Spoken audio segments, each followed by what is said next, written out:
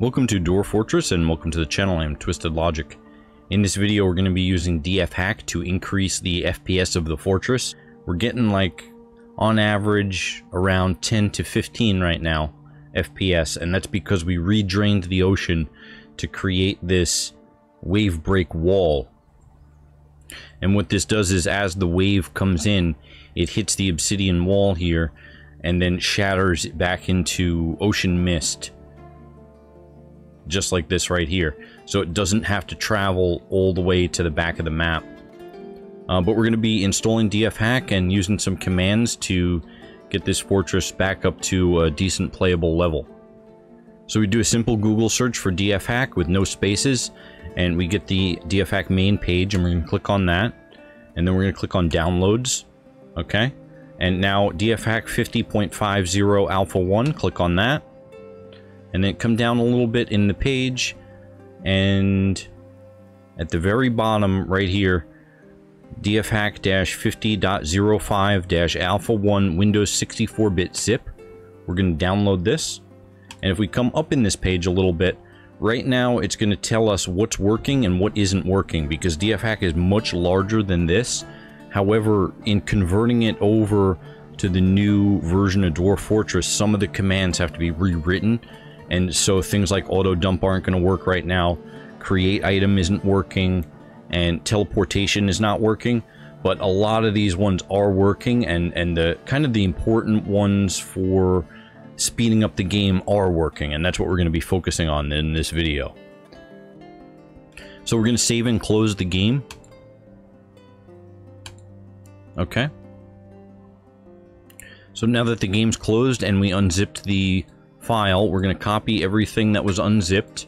And we're going to go to Program Files, Steam, Steam Apps, Common, Dwarf Fortress, and paste everything in here right into the root folder. Okay? And we're going to do a copy replace on anything that it asks. So we're going to relaunch our game, and if we did it right, we're going to have this DF hack icon in the top left corner. Okay, this is a very important warning. DFHack is in an experimental build right now, and you should make sure you have backups of any important saves, okay? So now, if we go to the top left-hand corner of the screen, we can press GUI Launcher, right? And that's going to open up this command window. And that is exactly the same as this command window here. So we can type our commands in like we used to in version 47, or we can use this in-game command window for version 50, right? Um, so the first command that we're going to type in is clean all, but we're going to put a space. just like this. Clean all, and press enter. And now we just removed contaminants from map blocks, creatures, and items. And it looks like almost 10,000 contaminants were removed. Now we can go one step further and do clean all space mud, item, and snow. Now, even if you don't have snow on the map, this is the command right here. You can read it down here. Clean all mud item snow, and it's going to remove splatter, including mud, leaves, and snow from falling map tiles. It's kind of like a more advanced clean all. So enter. And we removed almost a thousand items of mud off of map blocks. Excellent. Right click to leave that, and right click again, and we'll unpause the game and see the FPS just on that one command. Okay, so this guy right here, we're just going to follow him for a minute for everything to stabilize. Okay, he's drinking, but we're already at 28 FPS. Okay, we're following this guy. He's storing an item in barrel. And it looks like it's stabilizing at about 24 or 25 graphical frames per second. You see, if I hover over this DF hack icon, it says Control Shift D. So if I hit Control Shift D on the keyboard, that also opens this. If I press up on the arrow key, that's going to enter my last command. If I press up again, that's going to enter the command previous to that. And then I can hit down to get to the most recent. So let's run that again.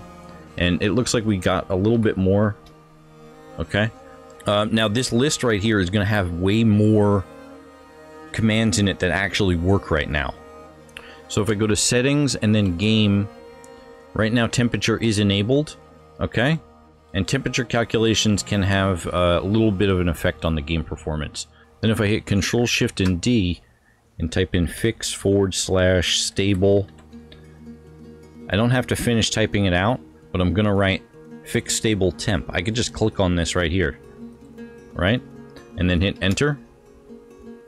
Okay, and now this finds 4,093 items that are not in a temperature equilibrium.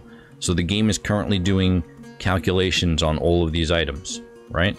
So if I hit up and then space apply, enter, 4,549 items were updated.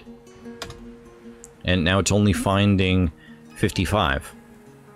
Okay, so I think that's pretty good right now. So everybody knows that Atom Smashers are great to increase the performance of the game by removing items from the game, right? But I'm going to show you exactly why that is. Clean owned, and then space, scattered, and then a lowercase x.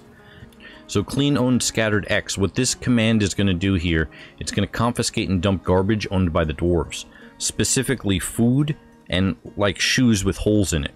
It's going to go by the wear of the item not the quality. So that lowercase x here is uh, lightly worn, so maybe like it's a glove with like a little bit of hole in it. But if you did uppercase X, it's going to be 50% or lower remaining. So it's going to be maybe like a glove missing a finger or, or like a hole in the thumb. You know the pair of welding gloves you got? so we're going to hit enter on this. And now this is going to put the whole fortress into a fury of activity after I press enter. Okay? But you see here, now it found all of these items. These are the total number of items that it found. But it didn't run the command on all of them. It did generate a very long list here of what it did run the command on. But if you take a look at one of these line items, this alpaca wool shoe, for instance, this has a wear level 3. It's owned by Ficod. It's got an ID of 662483, right? And then it also has location data where it actually is X, Y, and Z. And then also it has uh, who made the item that you don't actually see here. So there's a lot of data in each one of these items. And that's the reason why the Atom Smasher is speeding up the game. Because every single one of these items is a unique memory address, and this ID right here is that memory address. Okay, so if I escape out of that, you can see that all the dwarves are kind of going into a fury of activity, dumping everything here. Um, now, I just cleaned the Atom Smasher just before we ran this, and look at how many items that we already brought over. Okay? Now, that's going to take a while for them to do, and that may actually impact FPS a little bit while they're working.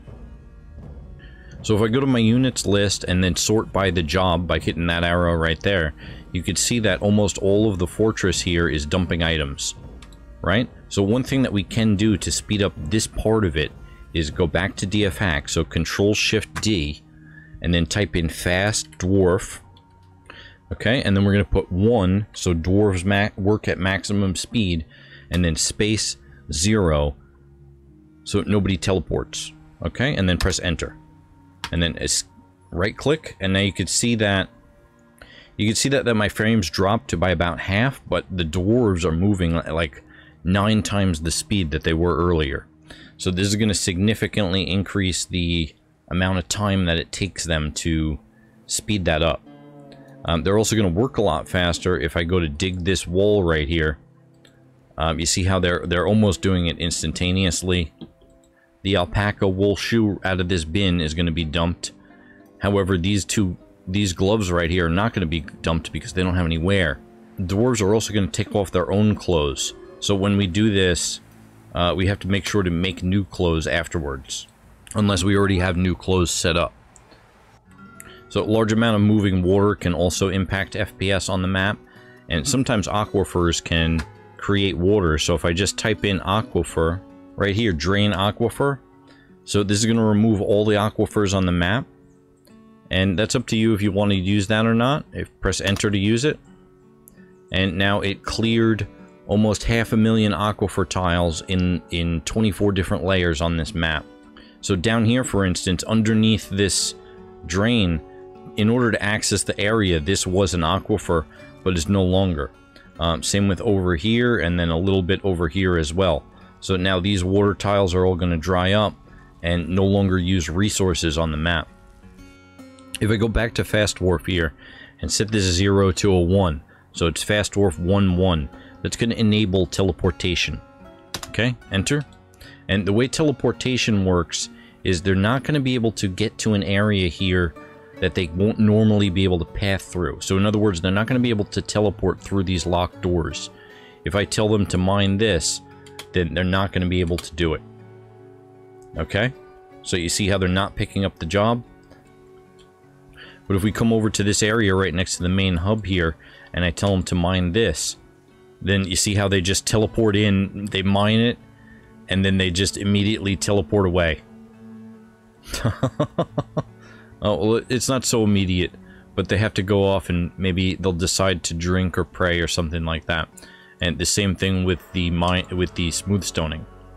The military dwarves teleporting them is is pretty fun. However, you know they can't they can't teleport to an area that they can't actually walk to. So it has to have a walkable path for them to teleport. Um, I find that the dwarves, um, you see how they're not smooth stoning right now? Um, we just gotta wait for them to pick up the job, but like, they'll they'll do the job quick and teleport away, and like go meditate somewhere or socialize, and then they won't pick up the job until they're finished with that. So that's why I don't really like the teleportation. So I normally, if I press up on the keyboard, that brings that back. I'm gonna switch it back to a zero. So teleportation is now off. We're also going to pull this lever to destroy all of these items, but let's just take a look on how many items that we have in here so far. It's a pretty decent list here. Okay, excellent. Now, Control-Shift-D, and we are going to turn Fast Dwarf off. So we're going to go to Fast Dwarf 0, space 0, enter. And now we're going to save the game, and we're going to go right back into it. Now, right now we're getting about 30 or so. Uh, but keep in mind this is a 52 year fortress on a 7x7 map. And we also have ocean waves. Yeah, we're getting about 30 frames now. And I'm not entirely sure, but I believe that when I'm playing with OBS running, then the frames go down a little bit as well. That when I'm not recording. But I'm not entirely sure on that because I noticed when I was cleaning up the fortress outside when we dug everything out, we were at like 37, almost 40 frames. Thank you very much for watching, and subscribe for more videos.